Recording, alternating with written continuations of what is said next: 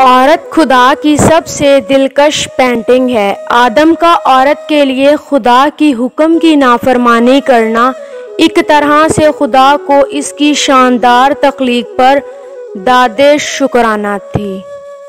एक अलमिया ये भी है कि अच्छी किताबें और अच्छे दिल हर किसी की समझ में नहीं आते। यही वजह है कि अच्छी किताबें हमेशा गिरद और अच्छे दिल हमेशा ठोकरों की जद में रहते हैं। जब होशमंदी दीवानगी का रूप धारती है तो हकीकत बदगुमानी की नज़र होकर रह जाती है। क्योंकि जुनून को समझने के लिए दिल बेना होना चाहिए, जो कि बासानी मैसर नहीं।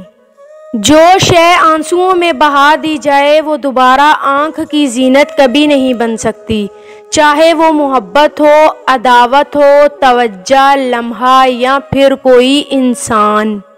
अगर जिस्मों से खेलना मोहब्बत होती तो दुनिया की खुशकिस्मत तरीन औरत तोाइफ होती।